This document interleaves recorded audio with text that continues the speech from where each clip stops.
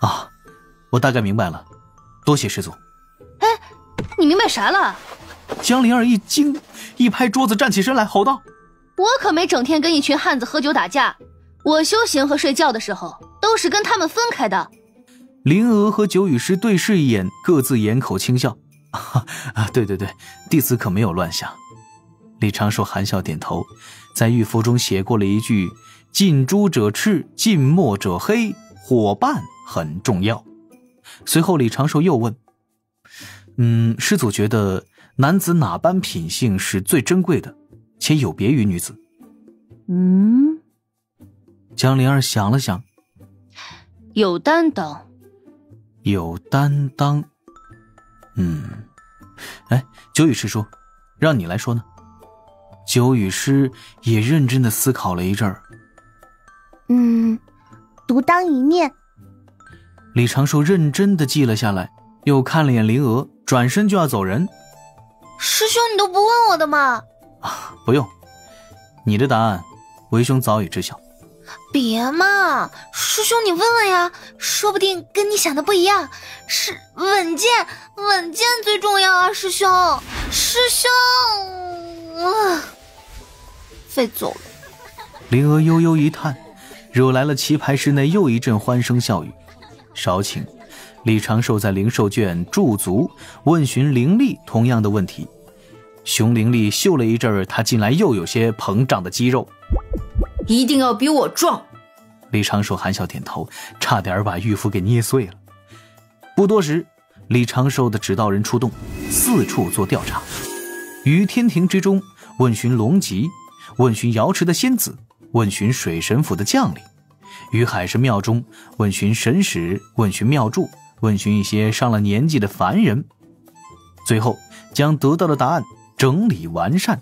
填补自己所做计划的空缺，修改一些细节，才将这一份规划讲述给太乙真人听。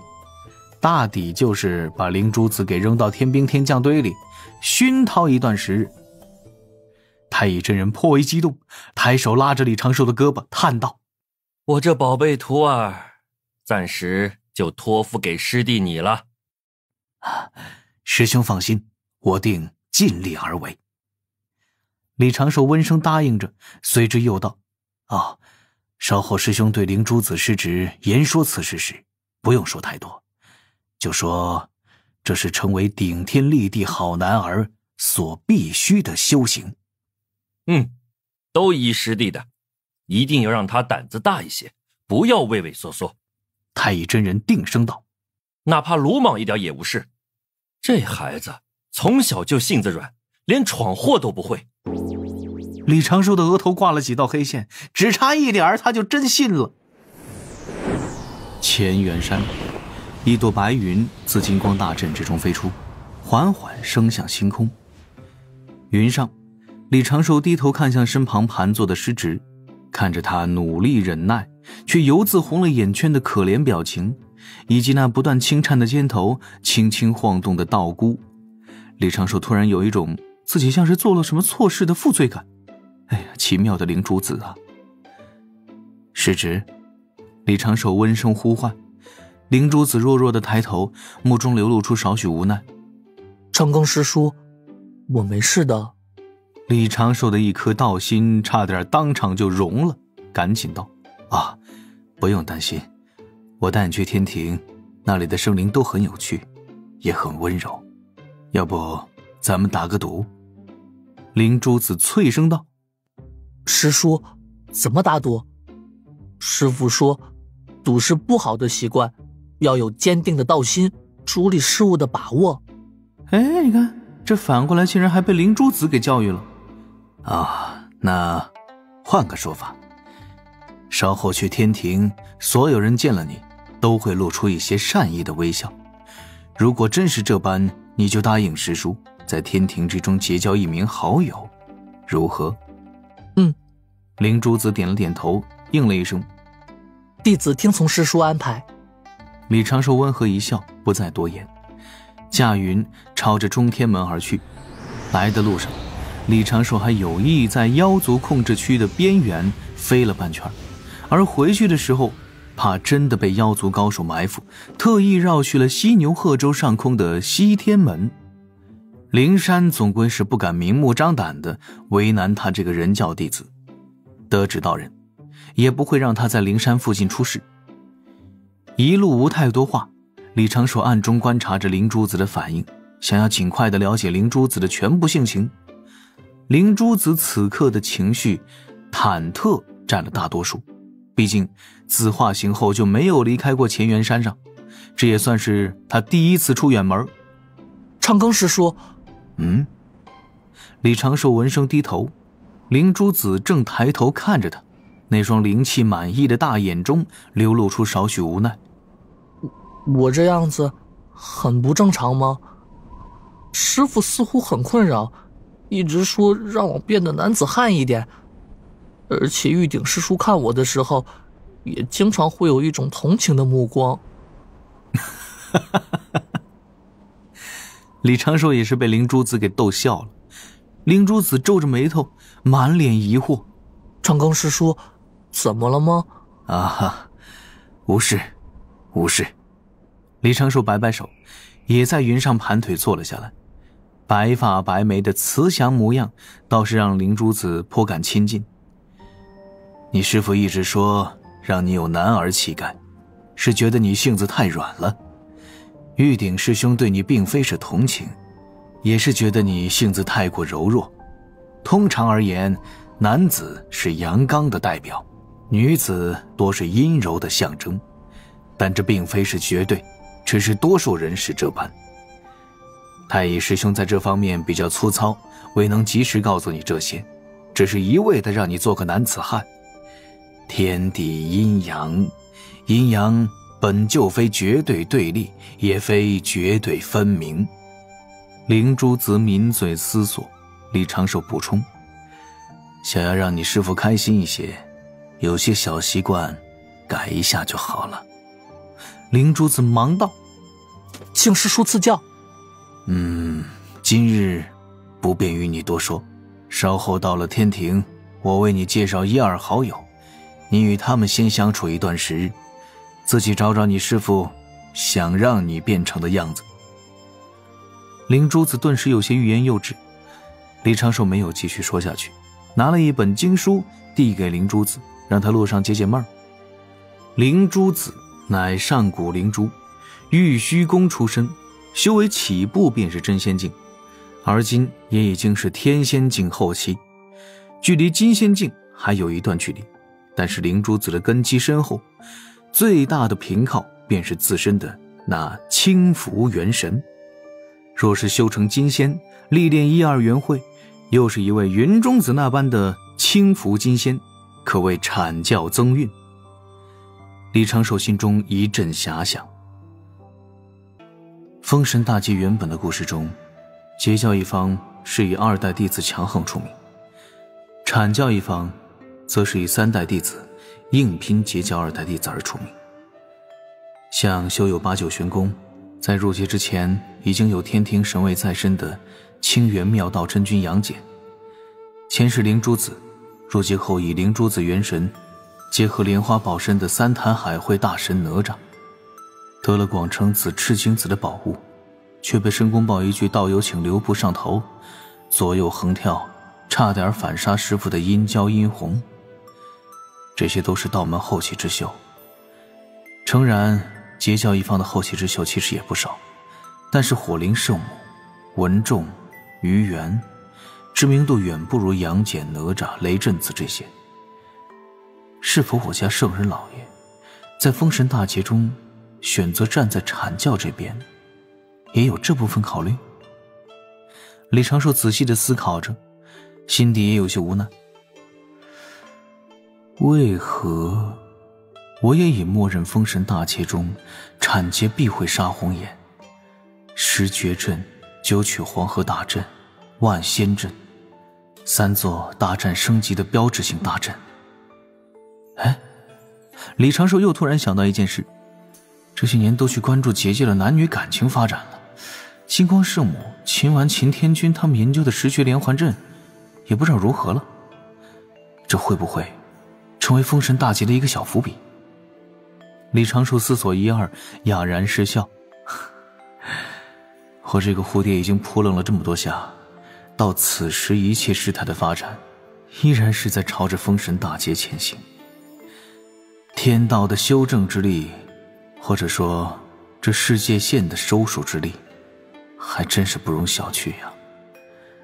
上一个想要改变神话历史的浪前辈，已经成为历史车轮上的一只小补丁了。我还是以自身存活作为首要事项。毕竟人死了，可就什么都没了。长庚师叔，灵珠子突然轻声问：“这世上像我这般的生灵有很多吗？”“嗯，每个生灵都是独特的个体，不必想着为了合群而改变自我，要想着让自己变得更完美而提升自我。生灵不必有太多棱角，也不必太过圆润。”毕竟圆滑什么的，是我们这些老人家之事。灵珠子眨眨眼，灵珠子听不懂呢。以后自称时就用我，不要自称名号，这等于直接暴露自身根脚。这算是你要更正的第一个习惯。是，灵珠子明白了。嗯，呃，我明白了。嗯，这才乖嘛。李长寿眯眼笑着，看着前方西天门，已是在望。可还记得刚才的约定？你可以一路看看，他们是不是都在对你笑？顿时，灵珠子打起精神。本是有些怕生的他，此刻却主动在观察那些天兵天将。众天兵天将，嘿嘿，讲道理啊。水神大人带回来一个眉清目秀的小仙子，这个小仙子还用一种清澈好奇的目光打量着自己。这，那自己还能用什么表情回应呢？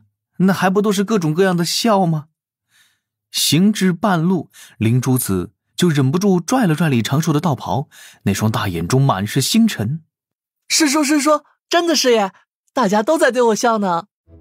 李长寿笑而不语。端着拂尘，带着灵珠子朝着自己的水神府而去。跟白泽较劲儿这么久，突然套路一下小孩，身心也是颇为愉悦。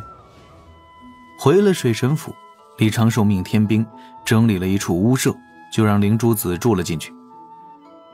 灵珠子，你且在此地住下，一应所缺都可对院内天兵天将提及。